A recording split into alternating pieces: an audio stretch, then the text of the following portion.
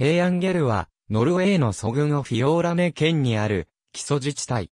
行政の中心地は人口2177人のヘイアンゲル村で、他にラビク、チルキエボー、オーストライム、バドハイムなどの村々がある。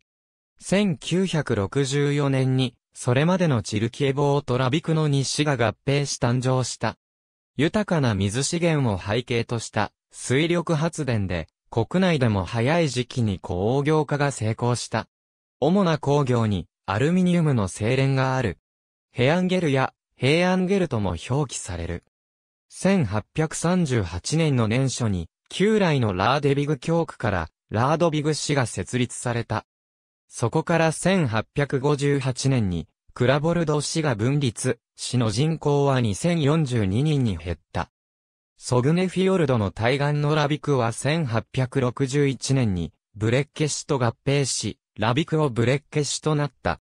翌年には、市西部の某準教区が、ラビクオグブレッケ市に編入されるとともに、アシュボル市のヒレスターと市内のオンの準教区が、ヒレスター市を形成。クラボルド市の一部の1875年の年初をもって、ラビクオブレッケ市に合わされた。1905年、市は、ラビクと、ブレッケの2市に分かれた。そして1964年、従来のラビクと、チルキエボー領市に、ビーク市の2ボートニゲルデトの各地区が合併し、平安ゲル市が誕生した。現在の市域は4つの準教区からなるラビク教区の管轄域と一致する。平安ゲルはもともとソグネフィヨルドの死脈の名であった。はじめのホイは、干し草、後ろのアングレは、フィヨルドの意味で、フィヨルドの斜面の豊かな牧草地を想起させる。1987年5月15日に制定された現在の紋章にはアルミニウム関連産業を表す3つの炎が描かれている。水力発電で容易に電力が得られるその地勢から市内にはアルミニウムの精錬工場がある。色も青が水力を、シルバーがアルミを表す。ヘイアンゲル教会ビョルグビン市教区の外祖軍大陸に属する市内にはノルウェー国教会の教会が6道ある。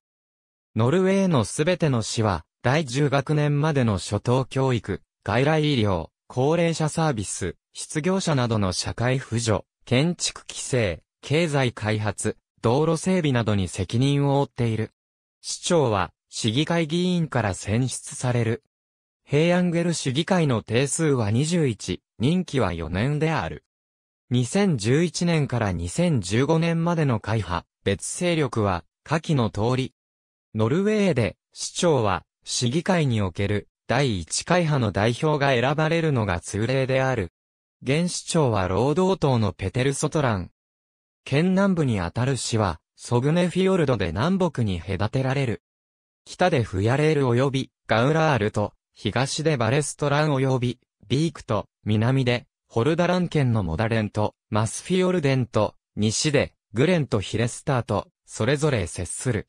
総面積は910平方キロ。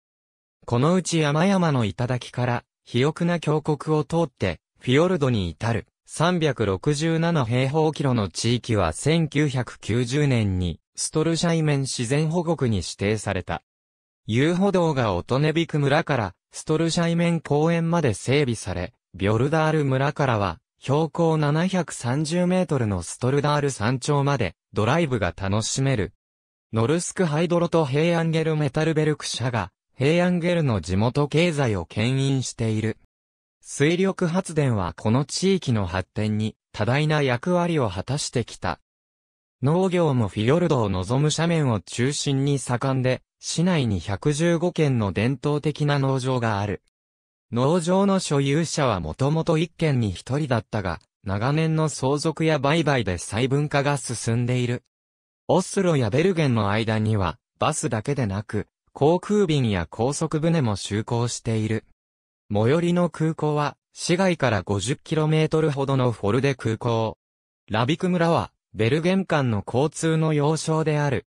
東のベレストラニエは、ヨーロッパ有数の全長 7.5km の平安ゲルトンネルが通じる。市北部と南部とは、ソグネフィヨルドのフェリーが結んでいる。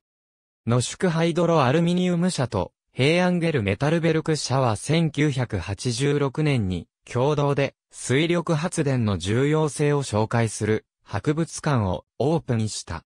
この地のアルミニウム精錬は豊かな水資源があって初めて可能になった。